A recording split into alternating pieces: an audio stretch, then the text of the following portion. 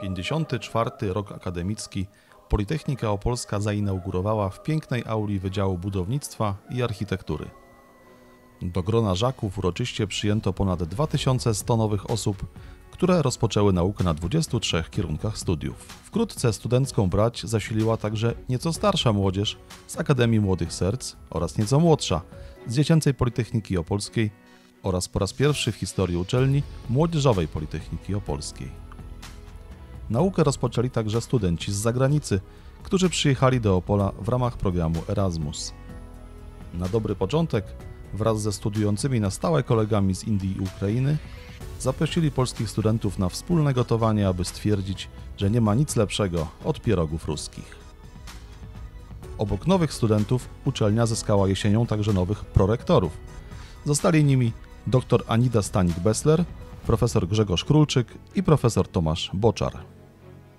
Chciałoby się powiedzieć świeża krew, a jeśli krew, to i tradycyjna wampiriada, czyli akcja honorowego krwiodawstwa. Semestr zimowy to czas konferencji. W październiku odbyła się druga konferencja Ratownictwo i Energetyka, podczas której eksperci z Polski i Czech dyskutowali o perspektywach i zagrożeniach fotowoltaiki i elektromobilności.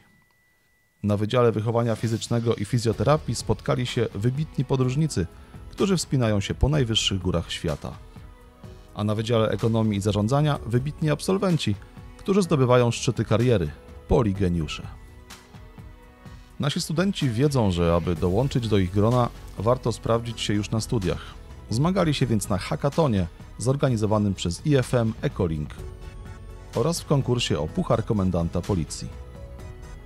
Kalendarzowy rok zwieńczyło uroczyste spotkanie świąteczne, podczas którego zasłużeni pracownicy otrzymali wyróżnienia i medale, a zaraz w styczniu na dorocznym balu sportowca bawili się zawodnicy i trenerzy, dla których medal to właściwie codzienność.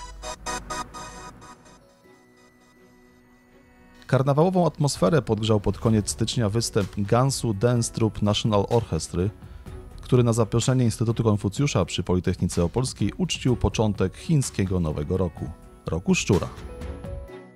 W związku z pandemią koronawirusa na Politechnice Opolskiej odwołano wszystkie wydarzenia i rozpoczęto nauczanie i pracę zdalną, a z czasem także zdalne obrony prac dyplomowych i doktorskich. Izolację osładzaliśmy sobie wirtualnymi spacerami nad Opolem, ćwiczeniami w domu i kulturą. Politechnika włączyła się też w walkę z pandemią, innymi drukując przyłbice i wspierając pracę szpitali kamerami termowizyjnymi.